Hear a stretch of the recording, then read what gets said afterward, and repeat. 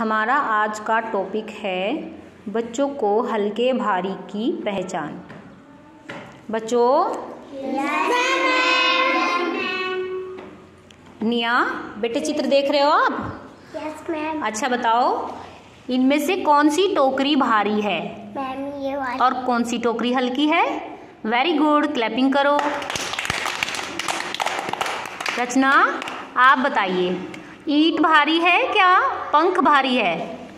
ईट भारी है है ना? और हल्का क्या है? पंख। वेरी गुड क्लैपिंग करो।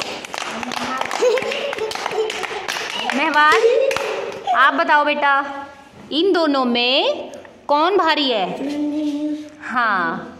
और हल्का क्या है? क्या है ये?